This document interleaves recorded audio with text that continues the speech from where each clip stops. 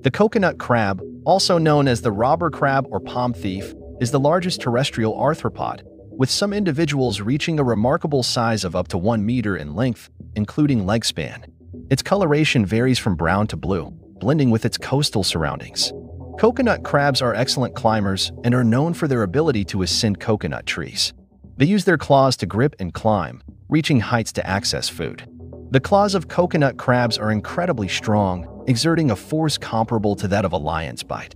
This strength allows them to crack open tough food sources with ease.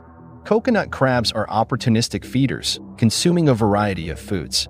While they are known for their ability to open and feed on coconuts, their diet also includes fruits, nuts, small animals, carrion, and even birds. Coconut crabs have a long lifespan compared to other crustaceans. They can live up to 60 years, contributing to their ecological significance in their habitats.